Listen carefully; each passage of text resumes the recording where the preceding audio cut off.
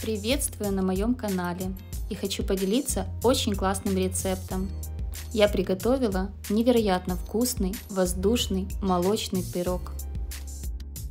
Готовится такой пирог очень просто. Для теста мне нужно 3 яйца, яйца категории C1 среднего размера. Добавляю 180 грамм сахара или 9 столовых ложек. Для вкуса добавляю щепотку соли Сюда же добавляю пол чайной ложки ванильного экстракта, который можно заменить ванилином либо ванильным сахаром. Дальше необходимо эту смесь взбить миксером до состояния однородной светлой пены.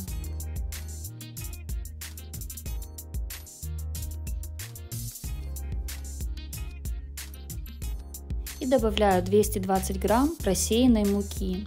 220 грамм – это 10 столовых ложек с горкой. К муке добавляю полторы чайные ложки разрыхлителя. И хорошенько все взбиваю миксером. Выходит такое густое, плотное тесто.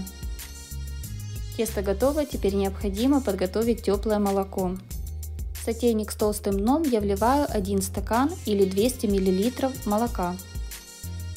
Добавляю 50 грамм сливочного масла и на медленном огне нагреваю молоко, чтобы масло полностью растопилось.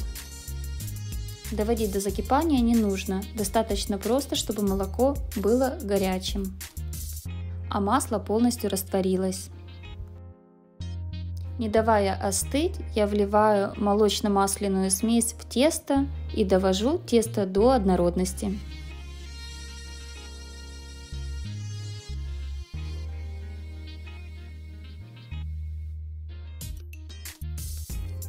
Тесто должно получиться достаточно жидким.